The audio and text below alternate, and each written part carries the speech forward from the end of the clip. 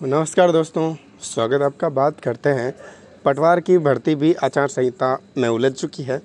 नहीं आई है, भर्ती ये, ठीक है ना? दो हज़ार नौ सौ अंठावन पदों पर ये भर्ती होनी थी। राजस्व विभाग ने स्वीकृति नहीं दी थी और इस वजह से ये भर्ती भी अटक गई है। बात करें, राज्य में दो हज़ार नौ सौ अंठावन पदों पर पटवारी की भर्ती की अटक ये है। राजस्व मंडल ने पटवारी भर्ती का प्रस्ताव अगस्त में राजस्व विभाग को भेजा था। लेकिन राजस्व विभाग दो महीने बाद इस भर्ती के लिए वित्तीय और प्रशासनिक स्वीकृति जारी नहीं कर सका।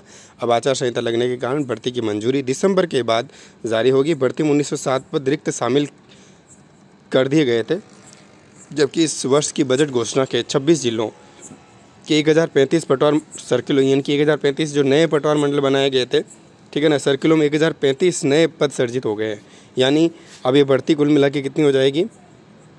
तीन हज़ार के करीबन ये मान के चलते हैं, एक हज़ार प्लस यानी चार हज़ार की भर्ती आएगी पटवार की अब, ठीक है ना? ये भी शामिल हो जाएगी। इसके अलावा इक्कीस नवीन तथा तहसीलों में छप्पन पटवारियों के पद भी सर्जित किए गए इस तरह कुल नौ, दो हज़ार नौ सौ अंठावन पदों पर भर्ती का प्रस्ताव भेजा था, ठीक है ना? दो हज़ार नौ सौ अंठावन पदों पर ये भर्ती, यानी कि करीबन और एड हो ही जाएगी इसमें, ठीक है ना?